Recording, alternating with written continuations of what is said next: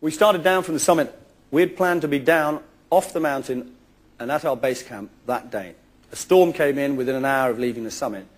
Unfortunately, as night fell, we were still very high on the mountain, and we were forced to dig another snow cave and spend another night on the mountainside. Now, we had not planned for this. Now, the way you down climb something like this, you've got your two ice axes, you've got the cliff behind you, you kneel down, you whack your ice axes in and lower yourself off the edge of the cliff till you're hanging on your two axes, and then you kick the front points, the two front points of your crampons, into the ice, so you're standing on a couple of inches of steel.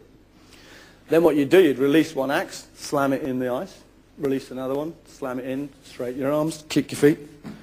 Fairly straightforward, really.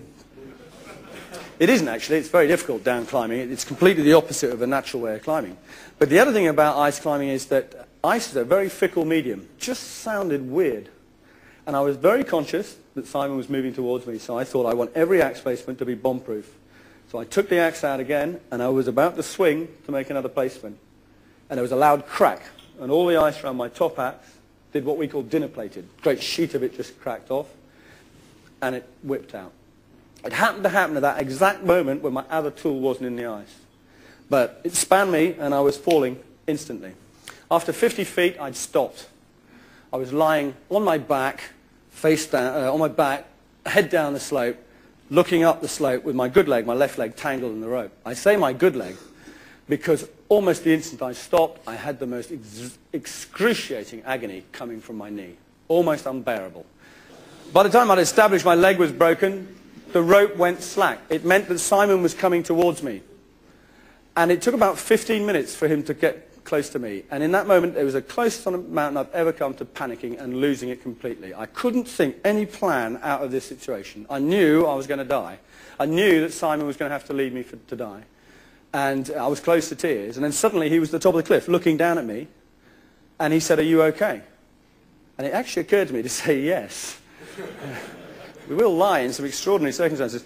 And um, I just thought, no, be calm, Joe. And I said, no, I've broken my leg. And he just kept staring at me. He said nothing, he just kept staring at me. And that frightened me more than anything. And then he turned away.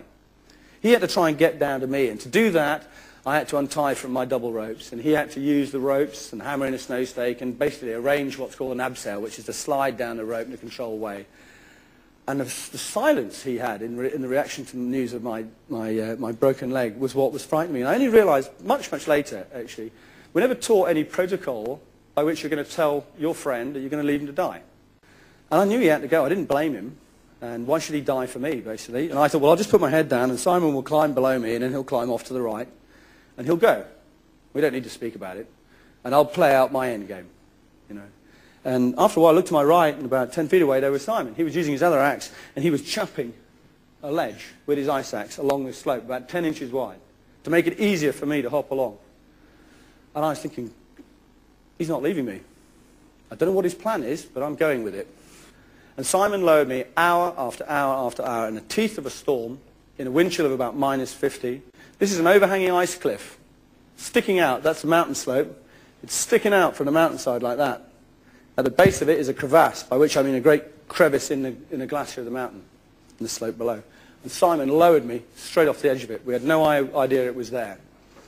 My sudden complete weight hitting the rope would have just ripped him off if he'd held the rope. So he just let the rope go. And then slowly, dynamically braked it.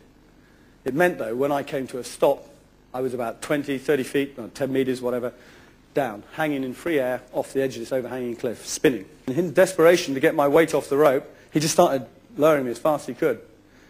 And after about another 30 feet, I came to a stop. And uh, I knew exactly what had happened. The knot joining the two ropes had just come up and up and up and just jammed in this friction device.